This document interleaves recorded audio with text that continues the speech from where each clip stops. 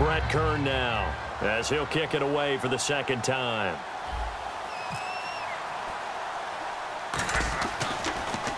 And now a low liner. I think he mishit it.